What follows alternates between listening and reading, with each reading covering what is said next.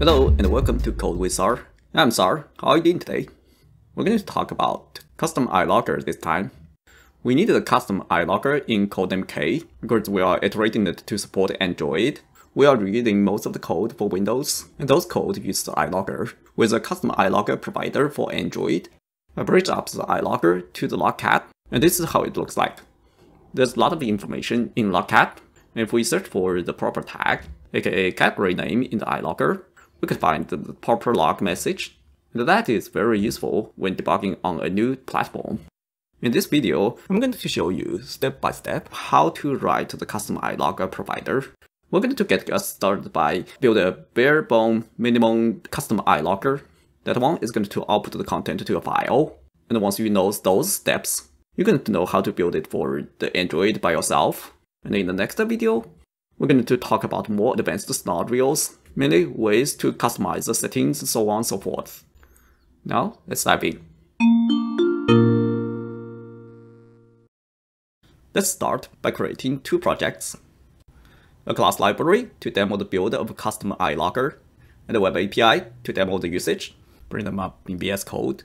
Our goal is to extend iLogger so we need to depend on the package Microsoft extensions, logging, abstractions. Now the core of writing a custom iLogger is to implement iLogger interface. Let's create a class for it.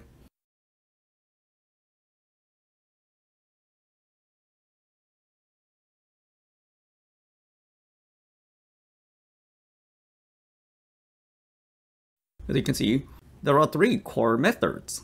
Begin scope is enabled and log. Again, we're targeting a bare bone implementation. We do not even need to worry about begin scope. That is actually not 100% accurate. Even if we are not supporting scope, we cannot just leave the method slow. It's best to just return a useless iDisposable. That's what I checked in the repository. With regarding its enabled, this is what I recommend at this moment. As long as the log level is not none, we treat it as enabled.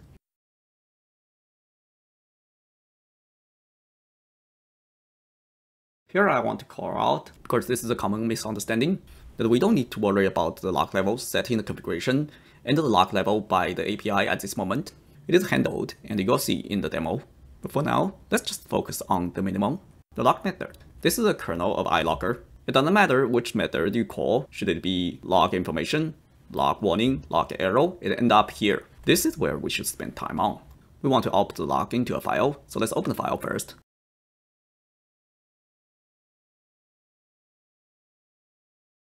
I'm going to hardcode the file name for a bit, and then I'm going to create a stream writer.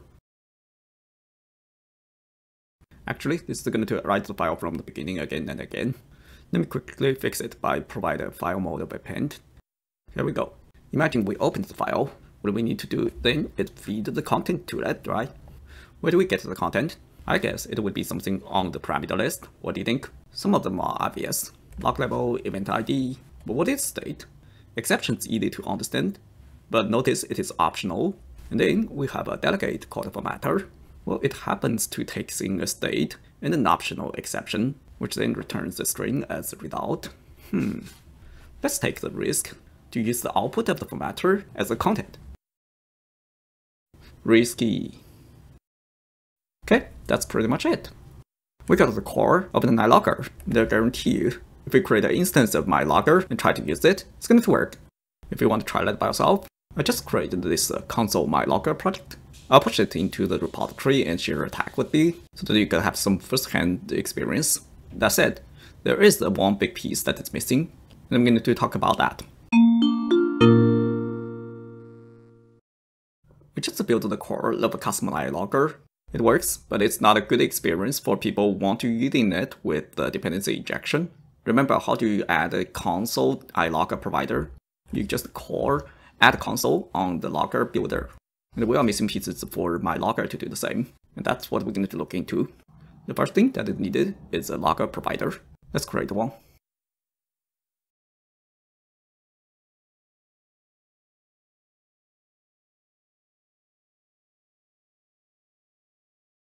Same routine, to let the editor generate the implementation for me.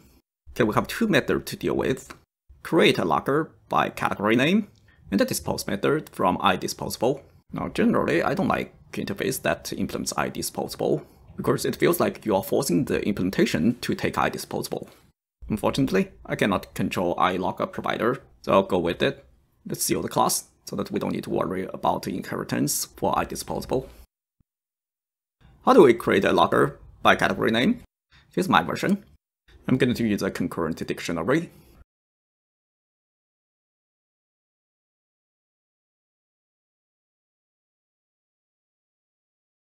I'll use category name as the keys, and iloggers as the values.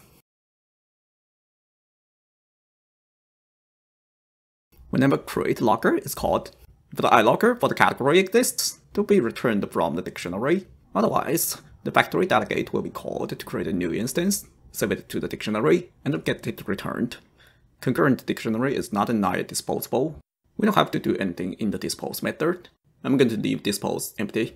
That is my logger provider. Now let's see how is it used. By convention, logger provider is usually used along with iLogging builder which is an interface in another package, Microsoft extensions.logging. So let's add a reference to it. Now let's create an extension method. It will be used to extend iLogging builder to provide a method to register my logger provider. That is the one that we usually call to add logging providers, like add console, add debug,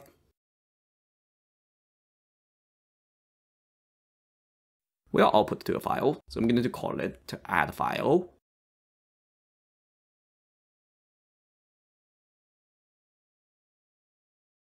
Builder.service is the service collection. We're adding one provider into the collection, and we use try add enumerable. Try add enumerable takes in a service descriptor. Service descriptor decides the lifetime for the service to be singleton here. The service type of iLogger provider the implementation of my logger provider.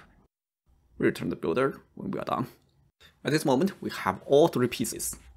An iLogger, an iLogger provider, and an extension method. Next, let's see how these three pieces work together to provide a complete iLogger experience. We created this uh, use custom iLogger web API at the very beginning of the tutorial, and now it's time to put it into use. First thing first, add a reference to the class library.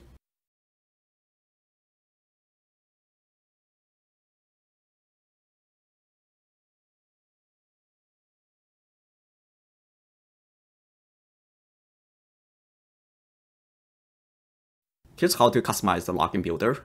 On the service collection, we call add logging. We get hands on a logging builder I'm clear the pre-baked providers. That is not required, but we'll make our debugging easier. And then we could call the extension method that we wrote a little while ago.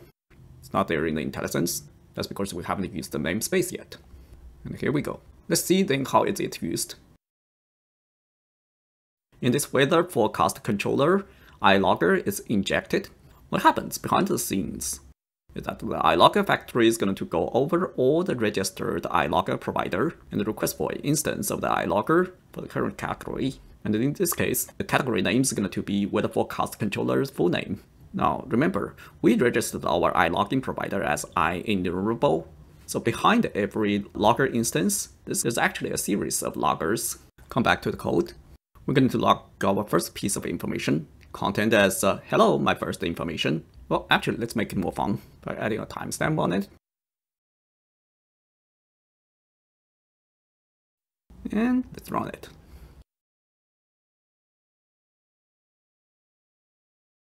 First thing you're going to notice is this uh, output.log shows up immediately. Let's take a look at what's in it. Those are system logs.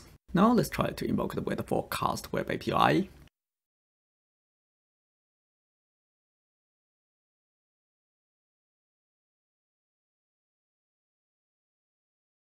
It seems like it's working pretty well.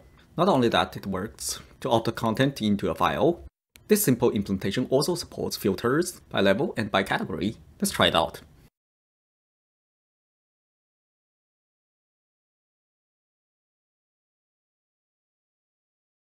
Firstly, let me set the default level to warning.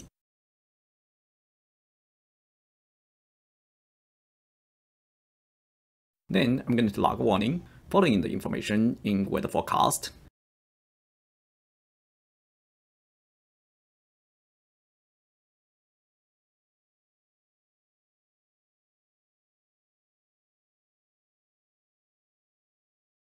And let's try run it again.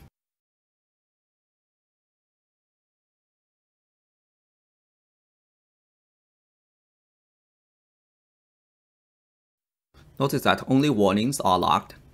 Now let's add a rule to the category.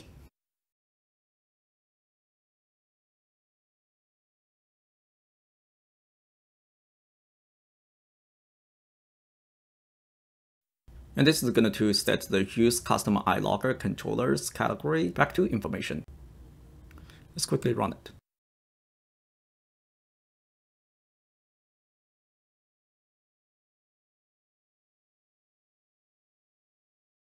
Now, every time I refresh the page, it is two log entries, one for information, one for warning. So as long as you build the iLogger this way, you get this for free. And that is how you implement a custom iLogger. I hope you enjoy that. Like the video to let me know. Oh, by the way, I'm trying to come up with some hands-on lab experience. Find all the details in the description. And I hope those going to give you more understanding about the topic. We're going to talk more advanced scenarios in the next video. Don't forget to subscribe to my channel so that you know when it becomes available. Alright my friend, keep coding, keep improving, and I'll see you in the next one. Until then, take care.